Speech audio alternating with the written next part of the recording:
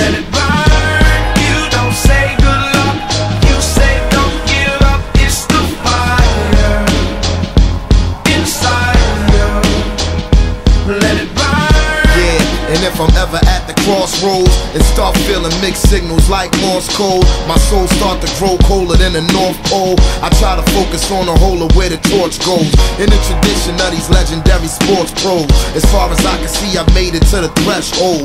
Lord knows I waited for this a lifetime, and I'm an icon when I let my light shine. Shine bright is an example of a champion, taking the advantage, never copping out or canceling. Burn like a chariot, learn how to carry it. Maverick, always above and beyond average. Fuel to the flame that I train with and travel with. Something in my eyes say I'm so close to having the prize. I realize I'm supposed to reach for the skies. Never let somebody try to tell you otherwise. There's something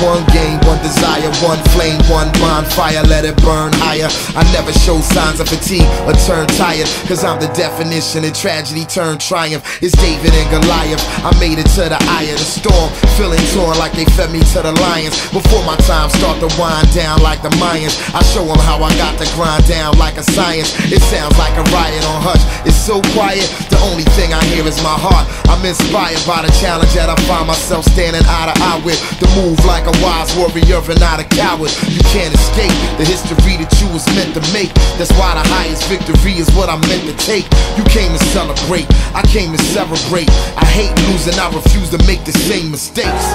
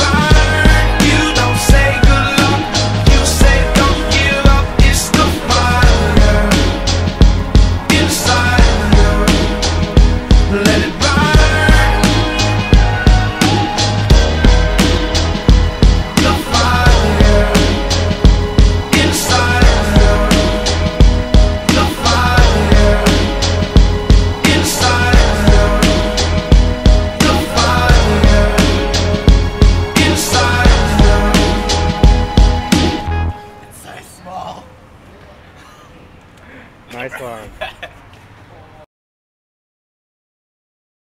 Our first test today will test the element of air. When I was a young lad and we did the Dragon Warrior Challenge, we were expected to catch a falling star from the heavens before it reaches the ground. Alas, these days there aren't that many falling stars left. So instead, we shall do the Dragon Egg Challenge.